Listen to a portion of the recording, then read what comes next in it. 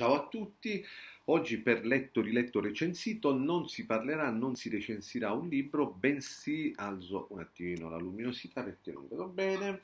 bensì una rivista. Una rivista, eh, la mia città è Catania, dove, che mi ha dato i natali, anche se vivo nella provincia a circa 3 km dal centro, una rivista importante che nasce eh, per volontà di Tiziana Nicolosi e del suo progetto che abbraccia il press, quindi la rivista di cui parlavamo, una dimora dove si organizzano degli eventi e delle rassegne con cadenza quasi trimestrale, così come l'uscita del, del, del, del press. E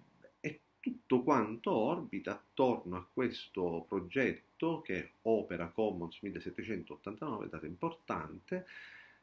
eh, ha una eh, impostazione e un tema specifico per eh, ogni numero che esce. Prendiamo il primo numero che è uscito a marzo del 2016, Opera Commons OC Press, marzo 2016, dove la grafica è, lega, è, curata da Laura Dagare in arte Utatang e all'interno ovviamente vi sono diversi contributi di diversi artisti, scrittori, disegnatori e quant'altro di rilievo importante. Eh, cioè, perché? Perché la, la qualità è quello sulla quale ha puntato Tiziana Nicolosi e la qualità non sta a significare che vi sia però discriminazione, divergenza o altro, bensì dove tutti si è eh, a un, certo spessore e livello. Il design therapy, per esempio, Luigi Patitucci, o,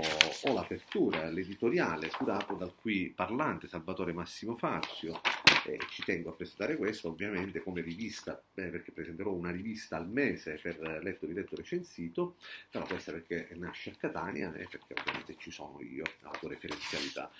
Eh, ho altri... Ho, o altri personaggi. All'interno vi è anche il calendario della rassegna che si crea, che viene fatta quasi trimestralmente eh, presso una dimora che si trova da Cibonaccorsi che si chiama Opera Commons pure. Opera Commons è un grande progetto, un grande pro- progetto artistico, ludico, giornalistico che coinvolge tutto e, ha, e nasce da un'associazione onlus, quindi non ha uno scopo eh, di lucro il lavoro e l'impegno di Tiziana ha sortito eh, in breve tempo, un anno, un anno e mezzo circa, con i suoi collaboratori che sceglie, collaborano, cooperano, c'è chi si allontana perché ha altro da fare senza nessun problema, non viene rimpiazzato perché la squadra è ben forte, ben formata, ma eh, ovviamente la più forte rimane lei, il capo, la madre, Tiziana. Ogni volume del, del press ha un tema questo qui è quello di giugno 2016. Eh, la grafica è curata da, eh, me lo sono dimenticato come un classico, eh, da parte mia, da Alice Caldarella. Eh, si raccontano diversi temi, eh, anche temi di quel momento. Addirittura ricordo una rassegna musicale, eh, artistica, grafica musicale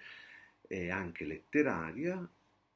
legata a un eh, problema che attraversava la, il settore della psichiatria in Sicilia.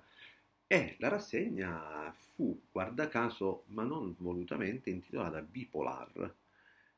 E quello era un periodo di fermento, quello appena un anno fa, che ancora continua, nella nostra terra perché molte persone rischiavano il posto di lavoro e molte persone rischiavano di non sapere dove andare a vivere, venivano intaccate quelle piccole comunità che sono delle case dove vivono delle persone con, hanno avuto dei disagi psichici che, psichici che poi col tempo si sono riabilitati, reinseriti e hanno cominciato a vivere assieme, case famiglia, comunità alloggio, case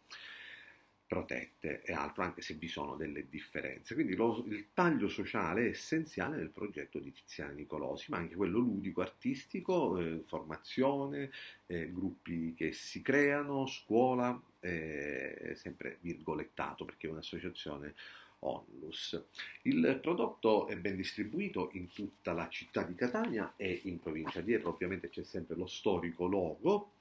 eh, con eh, qualcosa scritto in fondo, è l'indirizzo della sede, della sede, della dimora dove si crea tutto e, basta, non ho nient'altro da dire, non è un libro e ogni, ogni volume, come dicevo, è legato alle rassegne, all'attività che sviluppa, crea, inventa Tiziana Nicolosi, ha un tema. La bellezza sta nel fatto che ovviamente una eh, rivista non può avere 100 pagine e le persone che cooperano e lavorano con Tiziana sono sempre ben pronte a presentare dei novus che possono collaborare e contribuire. Poi la stessa in una tavola rotonda fa una cernita al fine di prendere gli articoli più che, rende, più, che reputa eh, più validi per il momento storico e per quello che sta proponendo. Eh, un voto. Alle riviste non si decido di non dare un voto, però eh, così come è eh, ben strutturato, ottima carta, brossura, pubblicità della rassegna all'interno, sembrerebbe tutto fatto in casa, invece non lo è, abbiamo violenza di Raffaele Auteri, bellissimo articolo, invece non lo è perché, perché questo volume nasce con, questo è dedicato al Gran Gugnol, eh, Gugnol si lancia bene, prima partendo con poche eh, copie e arrivando in un anno e mezzo a una tiratura che si è quadruplicata. Poche copie si intende, si intende un 150, quindi si è quadruplicata, vuol dire che la rivista è ben accolta negli ambienti tutti. Ciao e alla prossima!